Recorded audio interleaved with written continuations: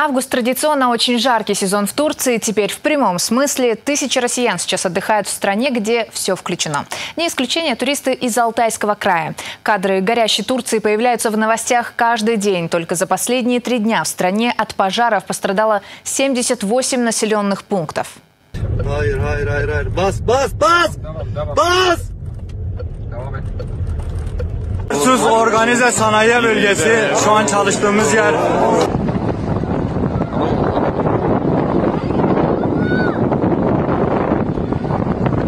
Но, как ни странно, пожары не отразились на спросе путевок, не отразились даже на авиасообщении. Как говорят в турагентствах, которые сейчас на связи с алтайскими туристами, ситуация в Турции стабилизировалась. Обстановка вроде спокойная. Наши люди непосредственно с задымленностью и красным небом горящей Турции не столкнулись.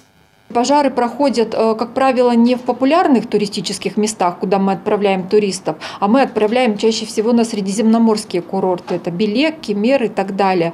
А туристы э, пожары проходят на западных участках э, курортов, и поэтому там не так частые рейсы, не так много туристов. У нас непосредственно в этой зоне туристы не отдыхают в данный момент.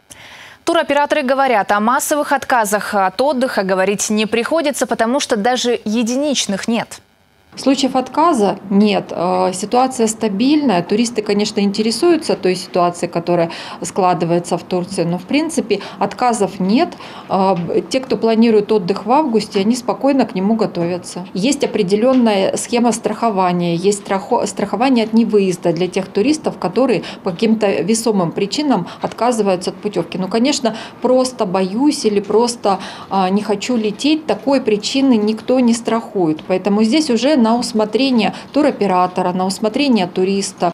Цена на путевки тоже пока стабильна. Пожары не отразились на ее снижении. Периодически появляются выгодные варианты, но их туристы могут наблюдать и в течение года.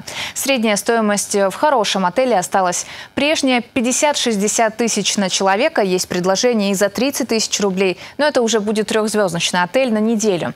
Ну а в конце хочется добавить, если русский турист собрался на отдых, похудел к отпуску, купил купальник и шляпку, то его уже ничего не остановит.